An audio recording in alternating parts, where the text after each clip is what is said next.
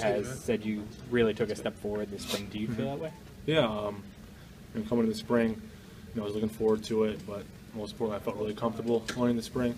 You know, we worked hard in the off season, and then you know, as spring ball progressed, and I worked with Coach Kill more. Everything kind of you know came together, and I think as each practice went on, I got better and better, and even up till today, I think today was a good day. So, yeah, you know, I think um, going into camp, I, I held my head high. How you much sign- of okay. how much of your offense did we really see today? Today, uh, you know, not too much. You know, we ran a couple plays that you know we're comfortable running. That we ran a lot, even uh, plays that we ran last year too. So, um, you know, for the plays we did run, I think we executed them pretty well. The offensive line did a good job protecting, um, and the receivers did a good job catching the ball today.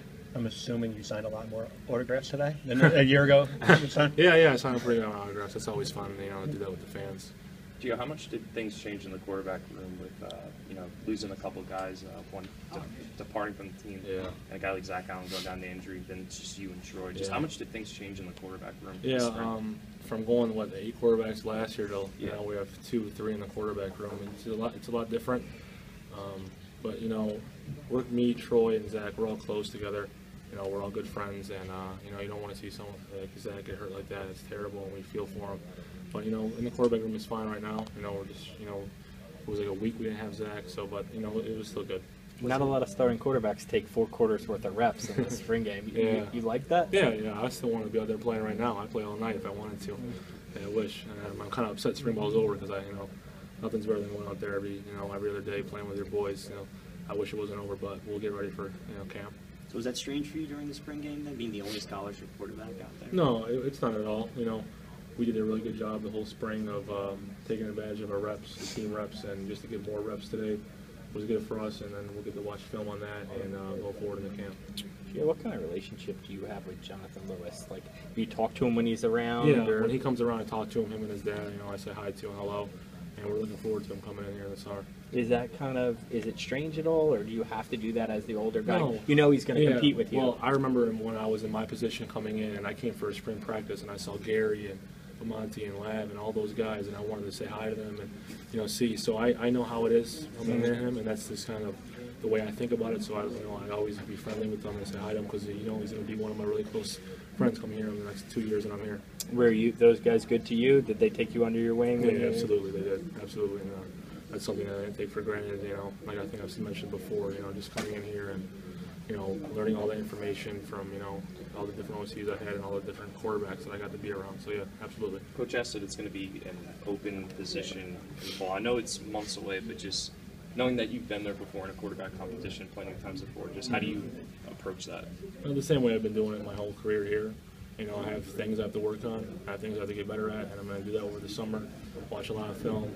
Know, be around Coach Kill a lot because he knows so much football, and I don't even know one percent of what he knows. So I can get as much football as I can in into the summer, going into camp, and uh, just keep working hard. You mentioned the improvements. What do you feel like you need to work on the most this offseason? Um, I guess staying more patient in times, you know, going through my reads, you know, trust where my eyes are, you know, telling me to throw the ball and stuff like that, and uh, just really um, understanding defenses. I think that'll help me a lot. Where did you? He asked you where you need to improve. Now, from November till now, what, give me an area where you think you got better. Um, I think I've been pretty accurate throwing the football when um, you know hit my receivers. Just so much more comfortable. Even watching film from last season till now in the spring practices, I don't even think I was the same person in the in the, in the, in the games last year. Even watching the spring practice last year, really- it didn't look like me. So just like that, you know, the, being comfortable, I think is a huge component of it, and knowing what I have to do with certain looks from the defense, so that's helped me out a lot. And like I said before, I still have to learn more about it, but that's helped me out for sure. Why is Coach Kill so popular with the, with this team? I mean, obviously last year we talked a lot about, oh, you have a 28 year old offensive coordinator who's like your age, Right. basically. Now you have a 65 year old offensive I think playing for Coach Kill is you know the best thing that's ever happened. He's a great guy. You want to play hard for him. You know, he's a really great coach. Love being around him. Um, Is it because of his knowledge? Or? yeah, knowledge. You know, everything that he's been through in his life. You know, it's just it's just awesome that we get to play for someone like him. Being in the quarterback room with him and learning from him, just you know, you know, kind of similar to playing with Ralph Friedgen. You know, it's the same thing. You know, you're playing for someone that's a legend in college football. It's, it's awesome. So you know, you, take the opportunity and you get to know him better. It's really cool. and I'm, I'm, I'm really hoping to take advantage of it and. You mentioned everything he's gone through in his life. Does that inspire you guys? Oh, absolutely. It inspires me 100%. And, um, I know how big he is in the college football world and just how respected he is as a coach. And for us to be, be able to play for them is you know, awesome. And I think that gives you a little more motivation when you step on the field. And you can't take you know a play for granted.